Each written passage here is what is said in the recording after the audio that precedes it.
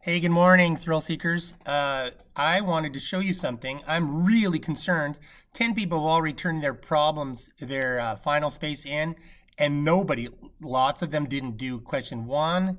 Most people did question two, some correctly, some not correctly.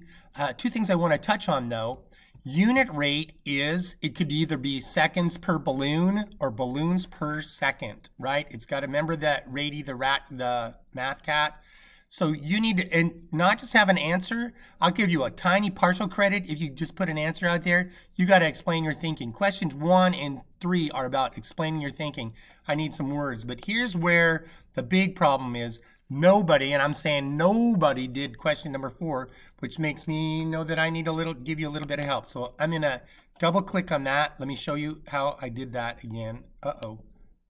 Double click on that and it makes it big. Now you see I've already been playing on it, so maybe that's not fair. Let me um, show you what I did. I'll just, um, I wish I could have some uh, a blank one, but I've already messed with this.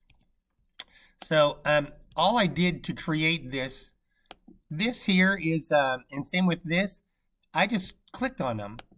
Like if you click on that, you can change that back around so that you can write on it without going a little crazy. And I just changed the words on there so that I've given you, if you watch this video, I've shown you how to do the x-axis. I'm going to try to fix that. Uh, there. You see I threw my balloons away because I didn't need them. You can keep your balloons. You can make more balloons, whatever. Time is in seconds. And so I just really what I did here, I decided five would be a good interval. I didn't want to do one, two, three, four, five, six, seven. I just used that. 10 would be okay but a lot of you would only have 10 and 20. So uh, I made these little dots, and uh, after I finished this, I just kind of guessed where that would be. Um, you can make a line, put it wherever you want. Probably the line has to do with where your dots are. So if it's five seconds, I know five here matches up with 25 over here. So you're going to have to put in the numbers.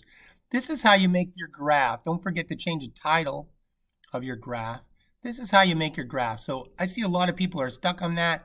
Um, I maybe I'm gonna, I would probably make a dot. I just went up here and selected something. If they had something that was a balloon, I actually I did see somebody with a balloon um, in the other other class. So maybe I maybe I. Do you see a balloon here? Oh, here's a happy face. Maybe I want mine to look like little happy faces.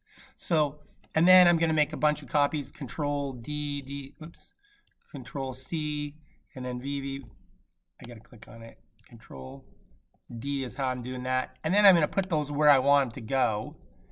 And so 5 is at 25 and 10 is at, I didn't know how many you got at 10, 50. I didn't know what you got. So um, that's how you do this. That's how you make a graph. So uh, be sure to have a graph because you'll get a 1 on your representations on your rubric without it. So if there's any questions, please let me know.